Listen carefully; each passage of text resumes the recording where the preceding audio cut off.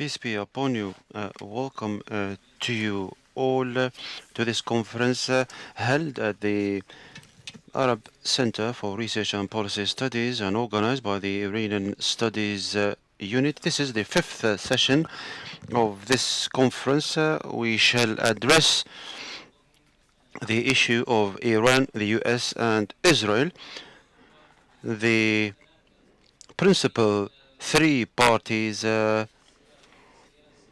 of the uh, general political hot kind of uh, uh, debate that goes on, which uh, uh, summons uh, analysis and indeed strategic wise these three parties shall have a huge impact on the region So these uh, days uh, we are kind of uh, talking about uh, these three uh, influential parties. Uh, not only that, but perhaps on the long run, their impact will be pretty much palpable. this session is important indeed. We have two distinguished panelists. They have great contributions uh, to this uh, dossier. Mr. Uh, Mahmood Muhareb and Mr. Uh, Jawdat uh, Bahjat. and they are both insightful speakers, great panelists.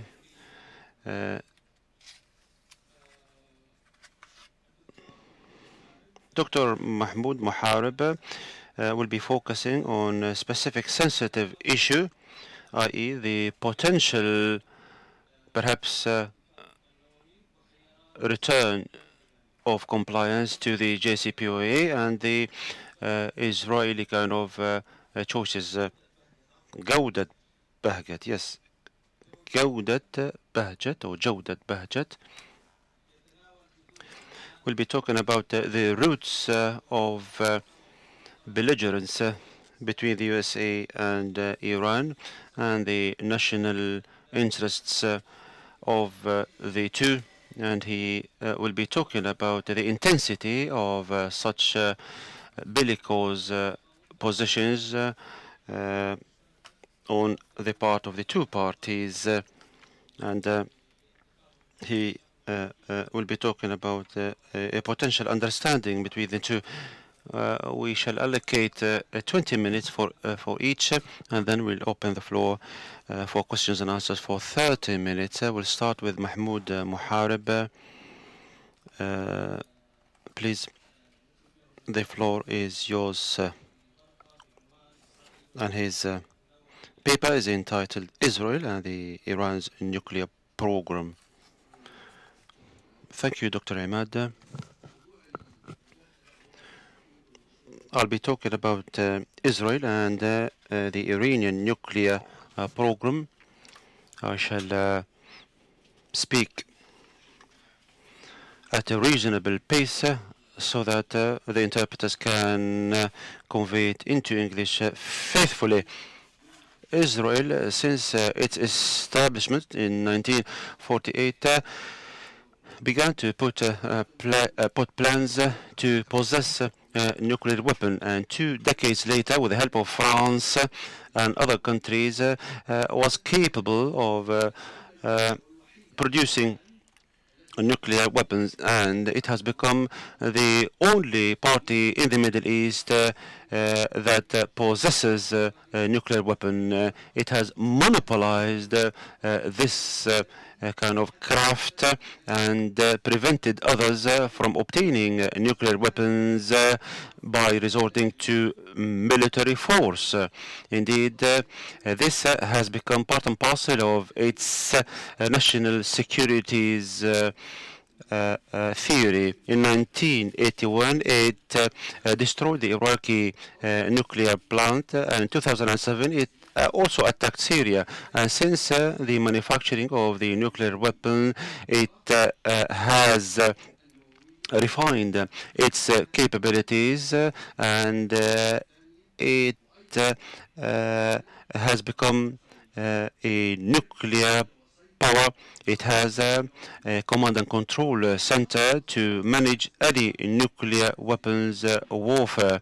Uh, it has the monopoly over the nuclear weapon, as we said, and two uh, decades ago, it had put the uh, Iranian nuclear uh, program at the top of its priorities. this has become the kind of motive to uh, impose uh, crippling sanctions on Iran. Iran illustrated the fact that if the sanctions uh, would be unsuccessful, then Israel might resort to power, or America uh, for that matter.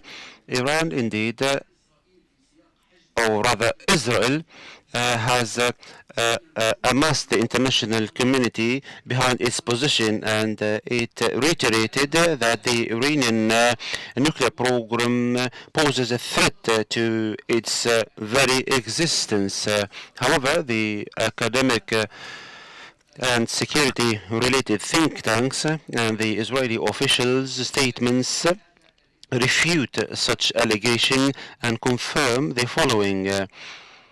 Israel confirms the following. Iran uh, becoming a nuclear power does not threaten Israel because uh, the uh, nuclear capabilities of Israel to uh, launch perhaps uh, an attack uh, is feasible and at hand. Israel opposes the the Iranian nuclear program because if Iran becomes a nuclear power, it uh, uh, will reshuffle kind of the cards uh, in the region and it uh, will uh, prevent uh, Israel from spreading its tentacles in the region and it shall entrench the clout of Iran and its allies in the region. Third, Iran that's that's what Israel is saying. This is the reading of, of Israel. thirdly, Iran aims at um, achieving two uh, issues. First, uh, protecting the regime from any foreign interference and uh, entrenching its clout uh, and hegemony in the region. And it is uh, worth mentioning that the nuclear Iranian threat has been put at the top of the priorities of Israel, and this conforms to Israel's strategy vis-à-vis -vis the Arab world and Palestine. Israel claims that uh, its occupation uh, of uh, the Palestinian territory and Arab territories is not the problem. However, a nuclear Iran uh, uh, constitutes a threat uh, to the Arabs. and in order to uh, uh, Uh, uh, face this uh, uh challenge, Arab, the Arabs must normalize their relationships with Israel. Not only that, but boost their relationships so that they, they become allies. But at the same time, Israel refuses the Arab Peace Initiative. it Judaizes the Palestinian territories and annexes some of it. Israel has opposed the uh, JCPOA in 2015 and any agreement uh, with Iran that does not stop uh, it from becoming a nuclear power. Netanyahu had a showdown with uh, Obama and uh, he liaised or rather extended bridges with Mr. Trump and uh, influenced him to withdraw from the JCPOA in 2018 and uh, imposing further international and American sanctions on Iran.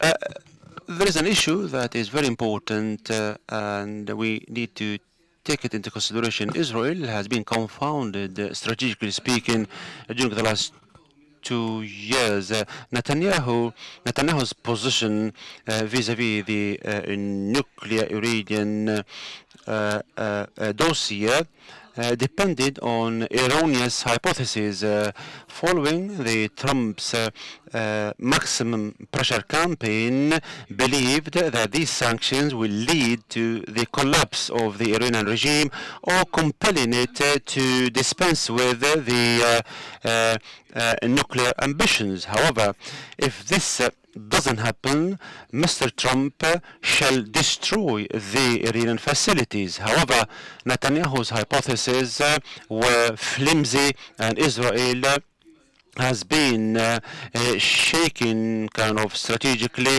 and this uh, uh was the result of uh, the following uh, reasons. First, Uh, the withdrawal of the Trump's administration from the JCPOA and uh, the coming of a new one that wants uh, mutual compliance. Uh, uh the other issue is uh, the further enrichment of uranium on the part of the Iranians. third, Iran has weathered the storm of the sanctions, albeit with difficulties. fourth, the Israeli military op has been weakened uh, because Israel has not been ready militarily uh, to attack uh, the Iranian facilities successfully. The strategic Israeli assessment uh, uh, by uh, the uh, a think a famous think tank in Tel Aviv uh, provided us uh, with four scenarios, and these uh, scenarios are as follows: first, uh, the mutual uh, compliance on the short run. second, the continuation of negotiations for months without acknowledging the failure. Thirdly, to arrive at a transitional uh, kind of agreement. And fourth, uh, reaching a stalemate and imposing further sanctions on Iran in accordance with the strategic assessment. the fourth scenario is the worst because even if uh, the USA imposes more sanctions on Iran, it is highly probable that the sanctions will not be impactful because Iran has adapted itself uh, uh, to these sanctions. Uh, the strategic assessment's findings is as follows. Uh, Israel, uh, it would have been better for Israel to have a new kind of JCPOA, uh, the like of the JCPOA uh, prior to the withdrawal and uh, pressurizing the USA to amend it. And the report said that uh, mutual compliance uh, will allow Israel to have alternatives to prepare perhaps for a military solution within the context of uh, dealing with the Iranian ambitions and clout, Israel has uh, repeatedly attacked uh, Iranian targets uh, inside Iran, in Iraq, and in Syria. And uh, these attacks uh, have increased in unprecedented fashion uh, last year. And these attacks are described as military uh, operations or security operations uh, without acknowledging them on the part of Israel in order to achieve uh, uh, uh Israel's targets without uh, a fully fledged war. The head of the chief of staff in June in Israel, the third circuit has been established under the umbrella of the chief of the staff and this division's task is to put a comprehensive strategy to face Iran and to crystallize uh, military plans within the context of the battle between wars uh, opposing the nuclear dossier and uh, opposing the Iranian regime, attacking military targets inside Iran and in the region, especially in Syria. Uh, this indeed uh, uh what we have witnessed in the last year extensively. Despite uh, the fact that Iran has crossed the red line uh, drawn by Israel, Israel uh, currently, in accordance with the military institution, uh, Israel does not possess uh, the military capabilities uh, to launch an impactful uh, military attack against the Iranian facilities, let alone having an international legitimacy or a green light from the Americans.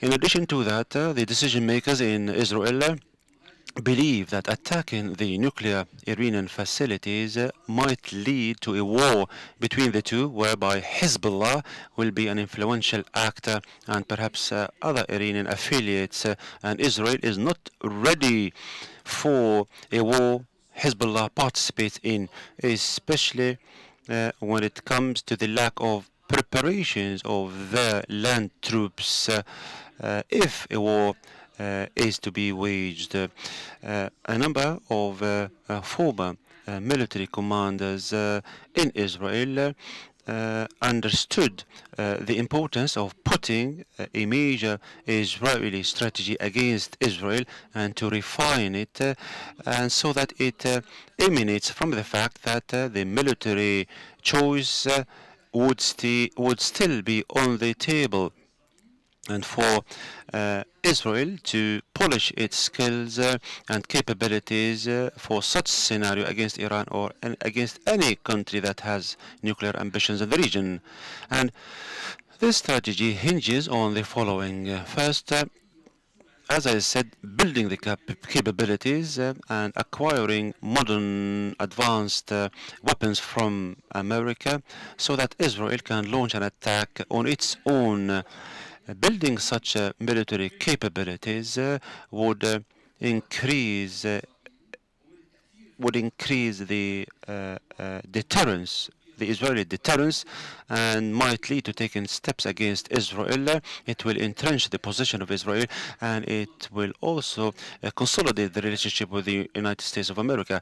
Third, to be prepared to uh, uh, launch a war against Hezbollah without uh, uh, fearing the consequences. Uh, and then there are certain other uh, uh, uh pinpoints whereby Israel ought to, as I said, consolidate the military choice, including the uh, consolidation of uh, Israel's relationships uh, with Egypt, Jordan, and the GCC countries, uh, having an Israeli Arab U.S. Uh, military alliance. Mr. Trump has floated the idea of the deal of the century. Israel later on didn't stop at having a normalization kind of uh, relationships uh, with the Arabs. However, it had floated the idea of having an alliance uh, with Gulf countries and other countries uh, to uh, face uh, Iran. The Naqab summit took place and the aim was to arrive at this alliance. Indeed, the Israeli military institute institution uh, has uh, spoken. Ilan Zamir, the general, had uh, uh, a prolonged study in July uh, 2022 uh, at the Washington Middle East think tank uh, called uh, upon Israel to extend the bridges with the moderate Arab countries and the USA to have an alliance against Iran, not just to prevent Iran from becoming a nuclear power, but also to uh, perhaps uh, uh, cut off the tentacles of Iran in the region. Uh, the issue of the Israeli military attack against uh, the facilities of uh, Iran. The Israeli leaders prefer for the United States of America on its own or with Israel to attack the nuclear Iranian facilities because the United States of America can do so for days and weeks until the nuclear Iranian facilities perish without toppling the regime. But Israel still wants to topple the regime in Tehran. The Israeli thinkers think that uh, indeed this uh, uh, uh might uh, uh, take place if Israel is ready militarily. However, there are huge challenges that Israel encounters following this scenario, and I'll touch upon some of them. First, Uh, these challenges uh, uh, make the military attack indeed untenable or very difficult. First, the distance to the tune of uh, 1200 and 1500 kilometers. Uh, uh, second, uh, the, uh, the, the, sporadic uh, nature of the distribution of these facilities, more than 14 uh, of them. And uh, uh, fourth, they are very fortified underground and there are advanced S-300 defense capabilities that defend such sites. fifth, hundreds of Israeli uh, jet fighters, the F-35, F-15, F-16 and drones uh, must participate in such attack and it is uh, very difficult not to discover such military yes please you have only four minutes left, and could you just uh, speak at a, a, reasonable pace so that the interpreter can follow you? That's the moderator. That's what the moderator is saying. So here we're talking about F-35, F-16, F-15, and uh, other uh, drones, uh, and uh, uh, it is very difficult for these jet kind of uh, fighters not to be discovered by the Iranians uh, before they strike. Uh, sixth, uh, the uh, uh, attack necessitates an international legitimacy or an American legitimacy at least. so coordinating with the U.S. is very important and it is not feasible for Israel to attack without notifying the United States of America and without having a, a, a green light or let or perhaps an amber light uh, to do so. So Israel might launch an attack if eh, eh, the United States eh, and the Iranians reach a cul-de-sac or a stalemate. seventh, attacking the uh, nuclear Iranian facilities uh, will definitely lead uh, to a war between Israel and Iran including uh, Hezbollah and perhaps uh, the Iranian-backed militias in Yemen and in Syria. And uh, Israel is not ready for such a fully fledged war uh, because uh, the internal front uh, is not ready for that, especially the land forces. the land forces are not ready to uh, launch a war against Hezbollah because Hezbollah has uh, uh, precise missiles capabilities. eighth, Iran and Hezbollah might also uh, target strategic uh, Israeli uh, uh targets uh, uh, in a reciprocal kind of way. So the nuclear Israeli facilities and other strategic facilities might be targeted and this might lead to a catastrophe. ninth, it is it is not guaranteed for Israel to inflict huge damage on the Iranian facilities, especially the ones that are located underground.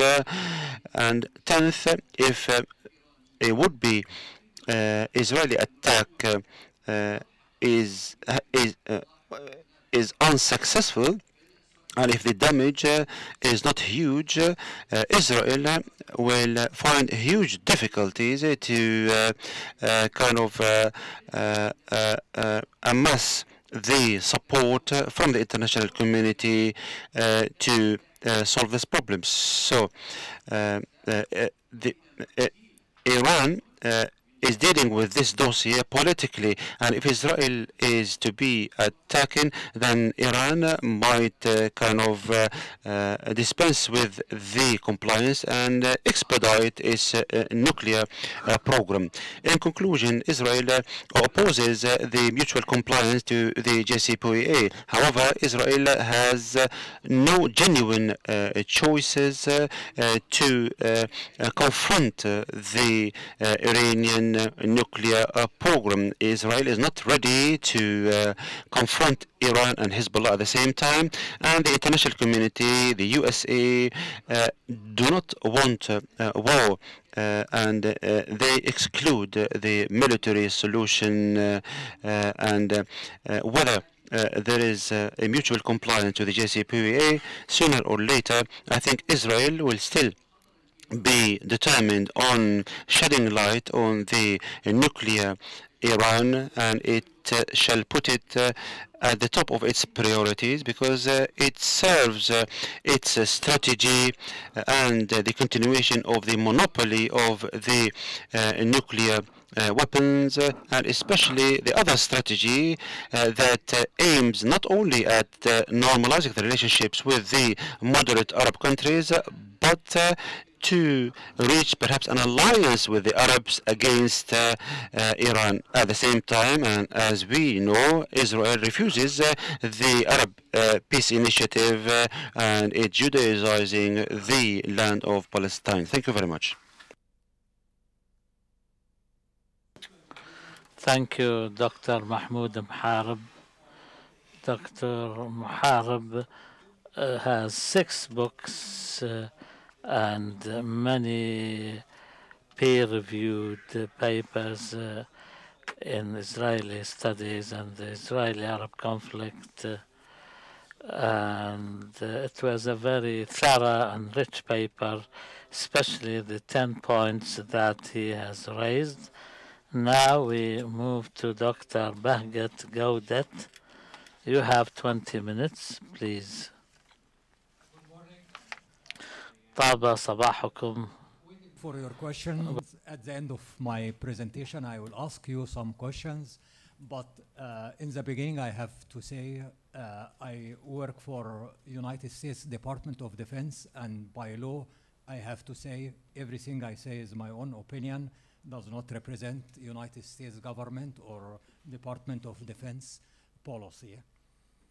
Uh, the fact that United States and Iran uh, have been uh, against each other, the relations between US and Iran is characterized by uh, mutual uh, hostility uh, since 1979, since 1980, the two countries have not had diplomatic relations and uh, the two countries accuse each other of everything and uh, I believe probably only Cuba uh, has uh, had longer sanctions than Iran. Even the Soviet Union, uh, United States had diplomatic relations with the Soviet Union. With Iran, U.S. Uh, government has not been on the ground in Iran, and because of this, uh, there are limitations on how uh, the two countries know each other. Uh, the current perceptions is very negative. Uh, in uh, United States, uh, most people in the government believe that the Iranian government lies, cheats, uh, all kind of accusations. On the Iranian side, uh, yesterday, uh, Hossein Mousavi told us how uh, the supreme leader has the final word in foreign policy.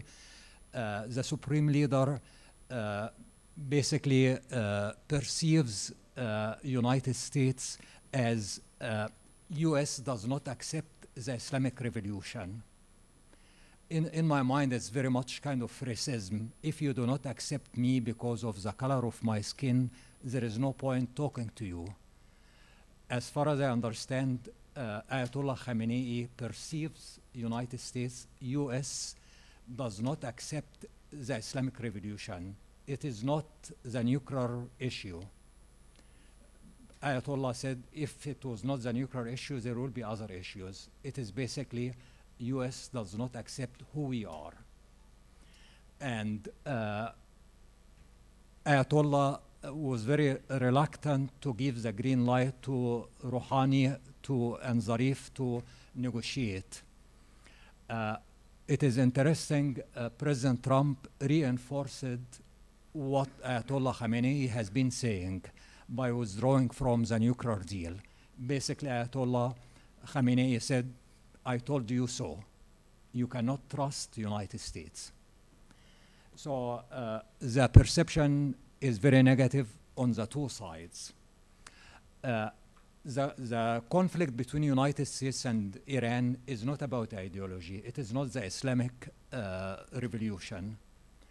Uh, I, I am strong believer in political geography, geopolicy. Uh, as you all know, Iran was about 80 million people, very large country, very strong national identity. Iran perceives itself as the regional power. Uh, is theory in international relations basically says the superpower, the global power, always has problem with the dominant regional power. Probably one example outside the, the Persian Gulf, like in South Asia, uh, United States is the superpower, China is the main regional power. In order to contain China, United States has strong ties with Japan, the second uh, most important regional power. In the Persian Gulf, uh, Iran is a dominant regional power. United States is a superpower. Saudi Arabia is the second strongest regional power. So U.S. builds relationship with Saudi Arabia to contain Iran. The problem with this theory, it is very much in Cold War mentality. Domination in the 21st century uh, is different from the 20th century. Uh, I, I don't believe Iran is after exporting the revolution. Uh, the Iranian leaders understand, like in any country, they will stay in power as long as they meet the economic expectations of their people. I- do not believe Iran is trying to dominate the region or export revolution. Again, the Iranian leaders, like leaders in any country, try to pursue the interests of their people, try to create jobs, try to uh, build bridges with their, their neighbors so they can grow, their economy can grow. So uh, I- believe this theory I, mentioned its roots in 20th century. It does not work in the 21st century. Uh, looking for the future, how, how to overcome this mi- mistrust, I believe uh, United States has to accept that the Islamic Revolution is here to, the Islamic Republic is here to stay. When I uh, give talks in United States to uh, U.S. officials or think tanks, uh, still they, they have hard time accepting this. And when I say uh, the Iranian government is here to stay, they try to correct me. You mean the Iranian people? We don't have problem with the Iranian people. It is not only the Iranian people, it is the Iranian government. Iran has been under tremendous pressure and the Iranian government survived. In 1980, the Iran-Iraq war, the whole world was against the Iranian government. The Iranian government survived. In the last two, three years, Iran has survived COVID and Iran has been the most sanctioned country in the world. This shows that the Iranian government is here to stay, and the United States has to accept this. Uh, for, for Iran, uh, Iran has to accept that United States is major global power. From yesterday till today, we heard in, in many presentations talks about China and Russia from American perspective, Russia is declining global power and China is rising global power. China is the main trade partner to almost all countries in the region and uh, around the world. But till today, about 64% of central bank reserves, reserves are in dollars. You cannot deny that United States is major player. Ameri- Iranian leaders try to downplay the significance of United States. It is understandable, but uh, Iranian economy, according to IMF and the World Bank, has grown uh, last year and is projected to grow this year by, I think, like 2.3 percent. But Iran has been able to survive, but it cannot reach its potential without reaching agreement with United States and Europe. The fact, it is fact that United States uh, has tremendous economic power and uh, we talked about soft power before and military power. Uh, Iran has to find some way to lower tension with Israel. I, I, I know this is very hard, but uh, Israel has very special relationship with United States. Uh, as my colleague mentioned, when Israel uh, opposed the nuclear deal, it was the first time ever in American history that prime minister of foreign country came and spoke to the Congress against sitting uh, president. United States and Israel have very relationship, very strong relationship. In my mind, I believe Iran will be in better shape if it follows the Turkish model. Uh, President Erdogan uh, could not stand Prime Minister Netanyahu, but uh, Israel is not major focus of Turkish policy. Uh, Mina, I understand Israel is accused of assassinating many people in Iran and many other crimes, but it will be uh, good for Iran, for the region, if somehow uh, Iran finds way to lower tension with uh, Israel. Very important point, and I talked with uh, a very senior Iranian official about it. I asked him because it was under Chatham House, so I will not mention his name, but he's sen- very senior Iranian diplomat. Uh, I asked why Iran does not lobby in United States, and his answer was there is no political will in Tehran. Iran cannot advance its policy, its relationship with the United States without lobbying.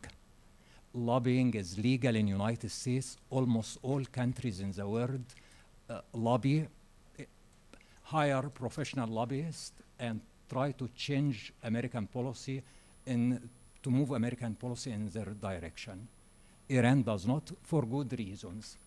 But you cannot win if you do not play. Iran has to invest in changing the American public opinion, changing American government and the Congress. Iran has very few friends in Washington. Okay. Uh, how many? Okay. Just few words about the nuclear uh, weapons. Uh, be- because the assumption in the first presentation that Iran is trying to make the nuclear bomb. One of my books is about nuclear proliferation in the Middle East, and what I found in writing this book, the main reason for countries around the world to make the bomb is security. Another major reason is pride. Uh, it's part of Iranian culture to invest in education, and the Iranians are very proud of their technological advances. Iranian universities, even under sanctions, are among the best in the Middle East. And for Iran, the, the nuclear project is very much like putting men on the moon for the United States. And uh, I, I believe it is very important to take this into consideration, pride. I, I, I strongly believe Iran is not interested in making the bomb. Uh, in my mind, nuclear bomb is like expensive car. You leave it in the parking lot and you never use it. A nuclear bomb was used only once in world history. It is very hard to imagine any scenario under which Iran would use nuclear bomb. I mean, Israel, Israel and the Palestinians live side by side. You cannot separate them. Iran will never use nuclear weapons against Saudi Arabia. Uh, I, I believe the Iranian leaders, when they deny having interest in making uh, nuclear weapons, instead I, they brag about cyber, about uh, drones, about missiles. They display them and they use them. They, they are cheap and this what what they do and they show the whole world and there is so much focus on uh, nuclear weapons and uh, again uh, the Iranians understand that uh, nuclear weapons lost their values I mean even if if you make the argument that a country like North Korea has survived because it has nuclear weapons if I were Iranian or if I were advising the Iranian government, it is much better to follow South Korea than North Korea. Uh, governments survive if they meet the economic expectations of their people, not if they make nuclear weapons. Uh, the way forward, where to go from now with regard to US-Iran relationship in the short term, uh, I'm not optimistic. There is so much bad blood between the two countries. Even if today or tomorrow or this week they sign nuclear agreement, uh, as I mentioned, there is zero trust between them. But in the lo long run, I believe there is good opportunity for mutual understanding. Uh, at the end, uh, United States is major global power, and at the end, Iran is major regional power. There will not be stability in the Middle East and probably in the entire world without some working relationship between United States and Iran. There was good chance when President Obama was in office, he showed respect to Iran, but uh, with uh, President Trump withdrawing from the deal, uh, this trust is zero again. But again, in the long run, I believe there is good chance for mutual respect. Thank you.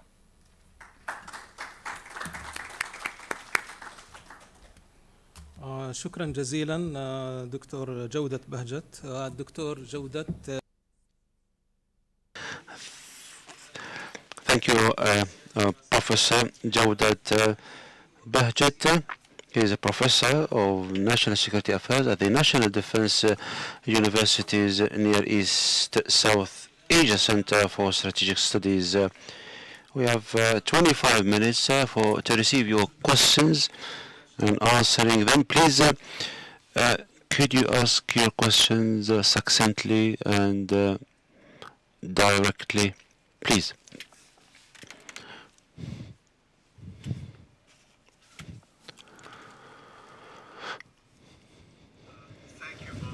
شكرا جزيلا. Discussions. Uh, I learned a great deal.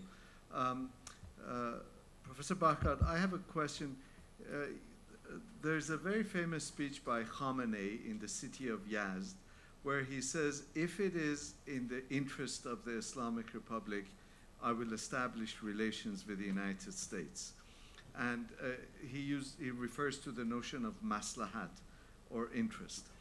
Um, but in the US, as you aptly mentioned, um, uh, not just in the official government discourse, but also in the public, uh, in the popular culture, Iran has an incredibly negative uh, image. It's now the only um, uh, country or the only nationality where it's permissible to discriminate against, at least in the media, in TV, in And so the narrative is very Iranophobic. What do you see as the prospects, or besides the lobbying, which you rightly mentioned, what else needs to happen for that narrative in the United States to change uh, in relation to Iran? شكرا سؤال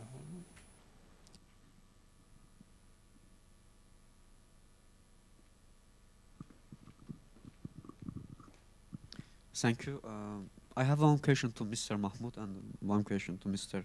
Javdat. Uh, my first question to Mr. Mahmoud. Uh, you mentioned that it's one of the choices for Israel to conduct uh, military airstrikes to Iranian nuclear facilities. And uh, my question is that, uh, as far as I know, uh, it is not that easy for um, Israel to attack uh, Iranian nuclear facilities like in Iraq during the Saddam era because it, uh, Iranian nuclear facilities are lo located in the deep down of Iran. This, those are very uh, hard places to reach and and uh, Israel needs uh, special aircrafts to refuel those aircrafts in the air because it's so long from Israel to attack Iran and Israel doesn't have such aircrafts and USA doesn't give those airplanes to uh, Israel. And uh, in this case, in potential airstrikes, uh, how can Israel solve this issue?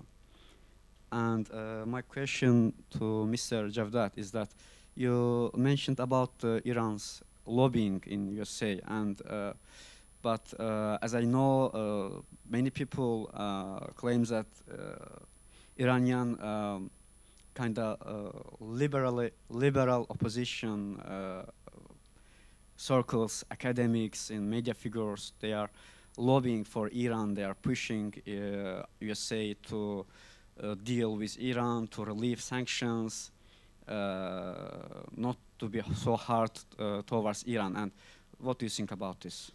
Thank you. تفضل السؤال ثم الدكتور يعني أشكر المتحدثين أنا أمجد جبريل Thank uh, the two speakers, Amjad Jibril, a Palestinian researcher, Dr. Mahmoud. I'd like to ask you, do you think that Israel might coexist with a nuclear Iran if America accepts a nuclear Iran? Do you think that Israel will do so? And uh, what about uh, the status of Israel if Iran becomes nuclear? And to that, if there is a, a third intifada, a third uprising, if Israel is entangled with uh, the internal affairs. Dr. Jawdat, uh, do you think that the NPT in the Middle East is effective, would it be possible indeed to prevent Iran from becoming nuclear, Algeria and Saudi Arabia as well, and other countries? So do you think that the NPT is influential? Last question. Do you think that uh, the uh, nuclear Iranian program is to do with having a bargaining chip uh, so that uh, the regime can, can be entrenched in Iran?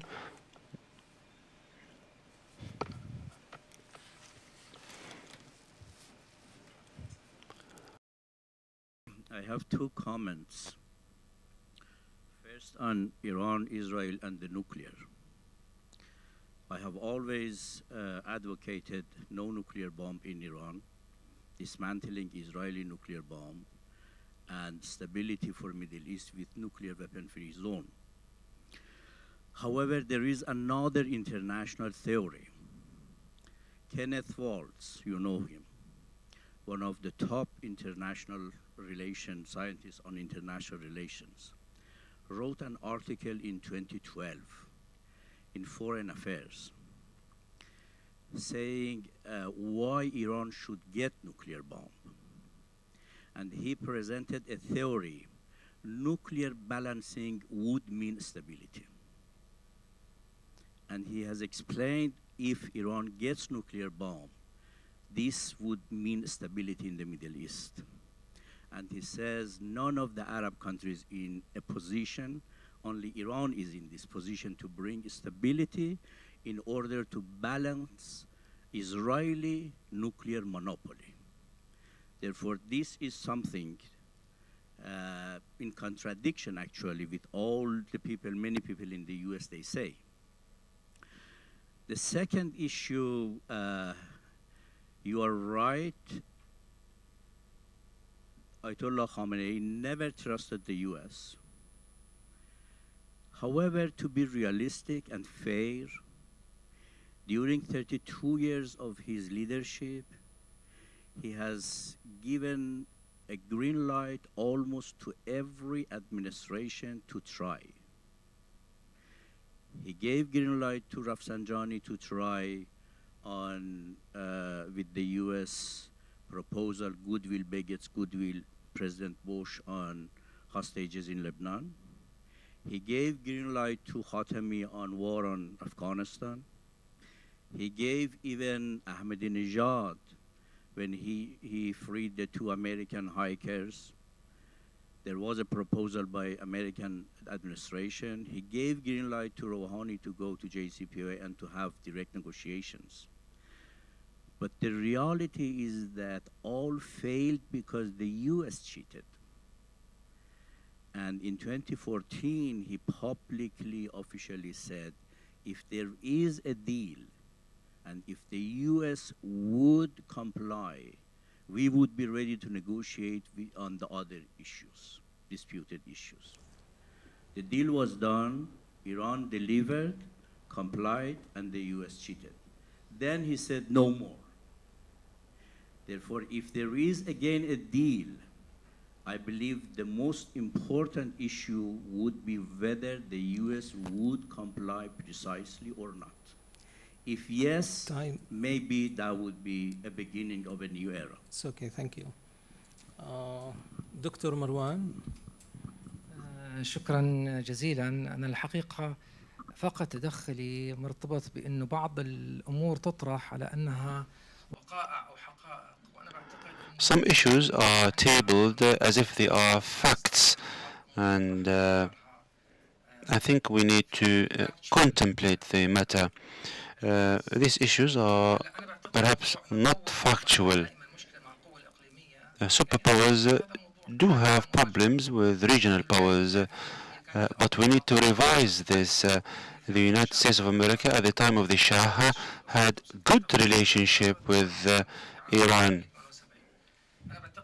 And I think that the issue is nothing to do with the sensitivity between a superpower and a regional power. So the detail lies, the devil lies in the detail. I think uh, that Iran has problems not only with the United States of America, but with other countries. Uh, and here we're not talking about uh, uh the color of the skin, but we're talking about uh, policies and uh, you said that uh, the issue between America and Iran is not ideological. If it is not ideological and it's nothing to do with racism or the color of the skin, then it is to do with interest and policies. As regards uh, the regional hegemony, uh, this raises uh, a number of questions. I think uh, that the Iranians uh, want to live happily. And since 2017, the Iranians on a regular basis are have been taken to the streets uh, and they have asked the government to perhaps stop aiding other countries and focus on the internal affairs. Last, last point. I think that if Iran becomes nuclear, from our own perspective, uh, this might uh, encourage uh, the Arab countries. And as you know, the Egyptians, the Iraqis, uh, they had uh, in the past uh, nuclear ambitions, and we all know that uh, Iranian is the Iranians and the Israelis uh, cooperated to uh, obliterate the Iraqis' uh, ambitions. Uh, I'm not saying that, uh, but some scholars said that. So if Iran becomes nuclear, I think Arab countries might follow suit. And as Dr. Mousavian said and talked about the balance uh, between a nuclear Iran and a nuclear Israel, I think that the Arabs uh, might have a stake as well. And I think um, that the Arabs uh, have uh, the uh, right uh, to have a nuclear weapon as well. I think Iran uh, is fighting its wars uh, on our soil. This uh, took place in Iraq, in Syria, and in Yemen. And if Iran becomes a nuclear weapon state, I think uh, that uh, the uh, uh, Arabs uh, might follow suit. The Turks as well. And perhaps this is the reason why the United States of America wants uh, for the NPT to be uh, uh, entrenched in this uh, part of the world uh, so that the Arabs and the Turks uh, won't be able to get uh, uh, nuclear uh, weapons, neither Iran.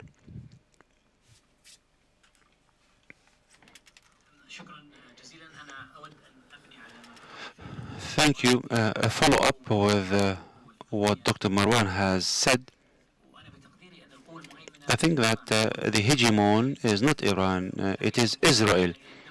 And uh, the hegemon is uh, the country that uh, violates international law and gets away with that. Uh, it violates the international law and it gets away with it.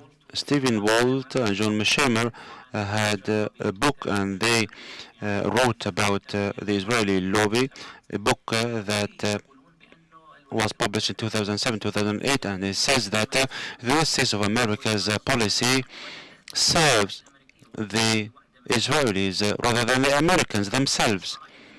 And uh, I would like you to comment on this.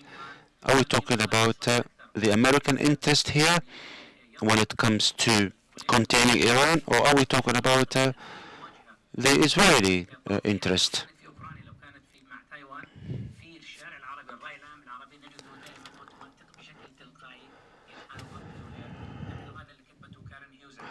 Karen Hughes uh, uh, talked about uh, also the Arab Street and how the Arabs are anti-American when it comes to such issues.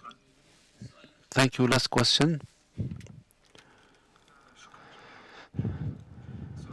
Thank you all. Uh, my question is addressed to Dr. Mahmoud. We do know that uh, the uh, Iranian nuclear program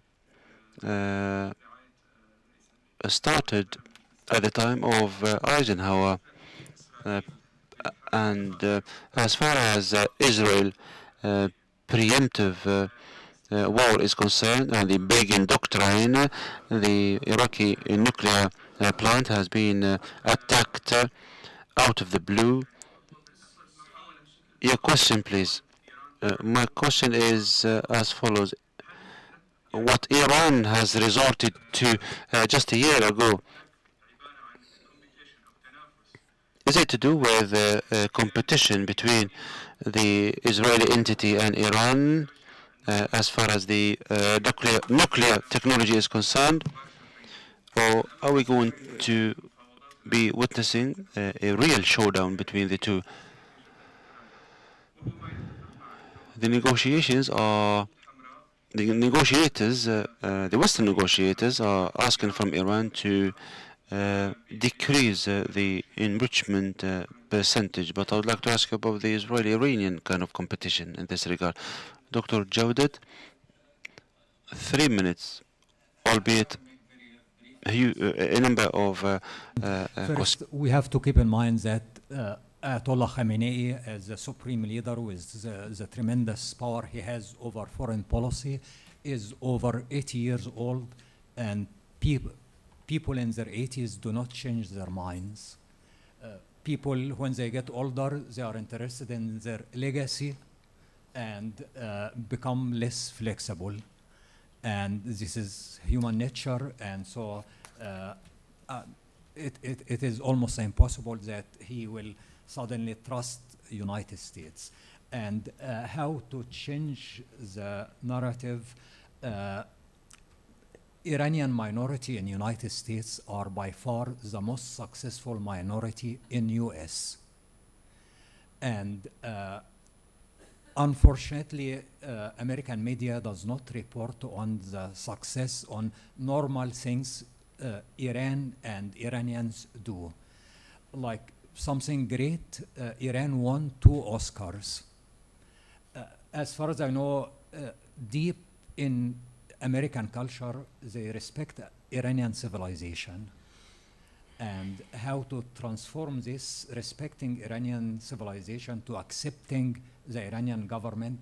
It is a long process, but I believe think tanks, universities uh, have to speak up and make this transition. Uh, lobbying is professional. It is not enough just prof Professor Mehran Kamrava can write good piece, good book, but he is not professional lobbyist. It is like you, when you are sick, you go to doctor and he or she describes medicine to you. Uh, Iran needs to, to hire professional lobbyists. Uh, there is uh, uh to enforce the narrative that many Americans believe Iranians lie in the nuclear deal, there was the assumption that Iran will cheat, and this snapback sanctions. In the nuclear deal, there was no assumption that U.S. will withdraw. There was no sanctions in the nuclear deal 2015 that uh, U.S. might withdraw. And the reason because the assumption that the Iranians lie, cheat, we cannot trust them. It was not balanced. Uh, there is continuity in Iranian foreign policy under the Shah. Till now, the Iranian program started under the Shah. The Shah had planned to get rid of all foreign powers from the region. The Shah had planned to establish Iran as the regional power. One last point, uh, nuclear weapons do not, uh, do not assure security. Israel was attacked in 1973. It had nuclear weapons. United States lost to Vietnam and it had nuclear weapons. Soviet Union lost in Afghanistan. It had nuclear weapons. The Iranian leaders understand Israel is now major regional power because of its drones, its missiles, not because of its nuclear weapons. شكرا جزيلا دكتور بهجت دكتور محمود لديك ثلاث دقائق Please.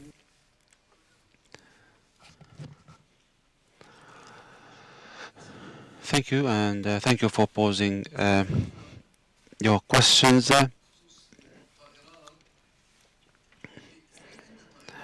Israel uh, has uh, aircrafts that provide fuel, but they are old and they ask for new aircraft uh, from America in order to help uh, launching any attack.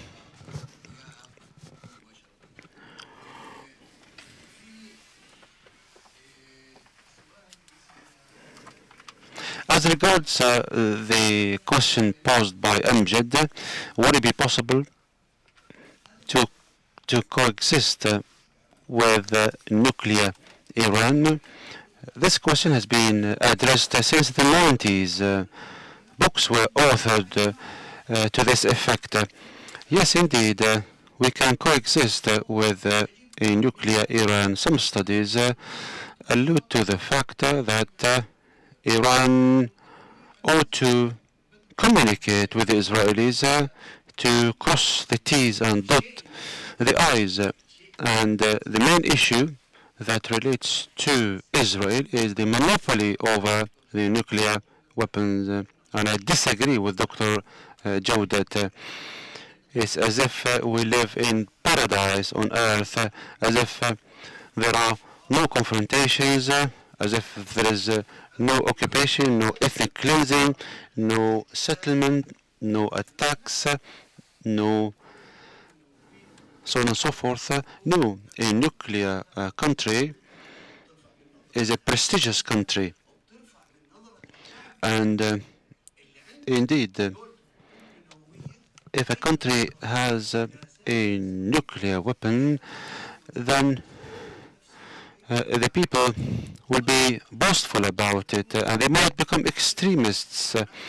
If you are strong, then you can do whatever you like uh, and you might become bellicose, you might have a bellicose kind of stance. Uh, and uh, uh, Dr. Jawdat, I think if you could convince uh, Israel to relinquish uh, uh, its nuclear weapon, that would be great.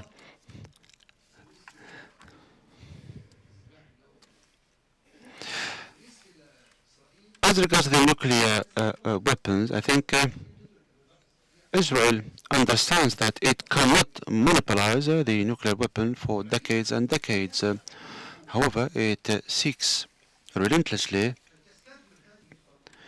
to invest in this period to dispense with uh, any possibility of a nuclear Iran. Iran in the 70s thought that Shah will stay in power forever and it had it all, its own plans but Israel indeed uh, is relentlessly pursuing the Judaization of uh, uh, Palestine in order to annex the Palestinian land, and this is central in its uh, policy.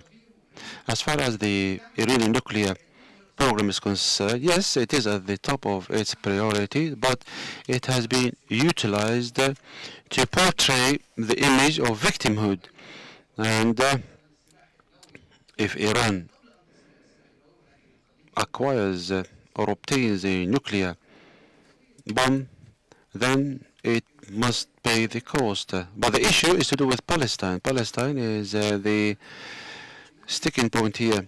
Israel wants to Judaize uh, uh, Palestine, and that's why they're focusing on the West Bank um, and uh, uh, Israel, I think, can coexist with uh, a nuclear Iran. And studies indeed corroborate that they have the strategy of nuclear ambiguity. However, they can change this policy, they can change this strategy, and they perhaps might declare that they are capable of uh, attacking anew, and they can liaise with the Americans. Uh, but the, the main issue in my paper is as follows. Israel is exploiting the uh, Iranian nuclear dossier so that Iran becomes a bogeyman, albeit um, Iran commits uh, mistakes. Uh, Iran, I think, must solve the pending problems with the Arab world, but it commits mistakes. But this is not my, my this is not the subject matter here. Uh, what I want to say is that Israel wants uh, to portray Iran as a bogeyman uh, so that the Arabs can be fearful of it. And I think that uh, Iran must, as soon as possible, reach an understanding with the Arabs. Uh, just give me one minute. I'm, I'm, I'm, about to finish. There are no contradictions between the Arabs and the Iranians. Uh, yes, there are some contentious issues that uh, are not intractable. They can be solved. So the Arab countries uh, must also understand this equation and uh, they ought to arrive at uh, a joint kind of uh, work of action or action plan. But the main issue when it comes to Israel is the 14 million Palestinians. Thank you. Thank you, Mr. Mahmood.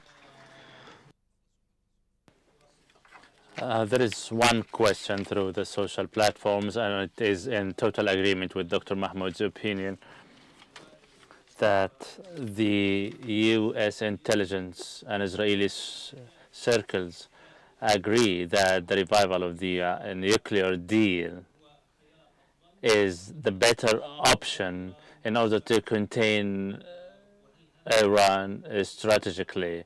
It is also in agreement with a comment I read days ago uh, written by Stephen Walt in a foreign policy article on 26th of July, where he wrote, quoting the Tamir Pardo, the ex-Mossad leader, that Israel concerted efforts to convince Trump to withdraw from the nuclear deal was one of the most the gravest strategic mistakes since the establishment or the inception of Israel. This is a quote given by Stephen Walt, who is in close uh, contact and deep knowledge of the Israeli leaders, leadership. How do you comment in 30 seconds? It is very difficult to give you a comment in 30 seconds. However, at the end of the day, the bottom line is there is a focal point with all respect to what has been said so far, which and I agree with the approach or the strategy of Israel. Then, since they have no options, the revival of the nuclear deal is at that point. However, they seek to bolster their position and to improve their condition in order to dictate, in order to exercise more pressure on Iran. Dr. Bahjat, it is said that when confidence is lost, it's very difficult to restore or to regain. As stated by, by Dr. Hussein, the United States uh, withdrew from the nuclear deal and Iran's options are all laid on the table. Do you believe that Iran will go ahead and obtain a nuclear weapon, a nuclear weapon, a nuclear bomb, and will this be tolerated by the United States? أعتقد ليس هناك عدو دائم أو صديق. States pursue their interest and uh, at one point Pakistan, India and Pakistan, when they made the bomb, uh, sanctions were imposed on them, but because we had interest with them, we uh, normalized the relations with them. But I still believe Iran has no interest in making the bomb. Basically, it will not serve the national interests of Iran. And uh, one last point in 30 seconds, uh, the point that uh, the more the merrier, if uh, Iran makes a bomb, there will be balance of fear between Iran and Israel. This is one school, but uh, at the same time, I, I, cannot see any scenario that Israeli leaders will give up the nuclear option now. They see the region is very unstable, and no Israeli politician can survive if he or she uh, agrees to give up the nuclear bombs, the nuclear arsenal Israel has. Thank you. آه شكرا جزيلا so لكلا خليهم don't survive so what يعني شكرا جزيلا the world will لكلا live very well المتحدثين. يعني دكتور Dr. Mahmoud, ask, thank you so much for your uh, uh, patience and your attentiveness. Now it's time for a lunch break, and I'll see you back on 1:45, where the six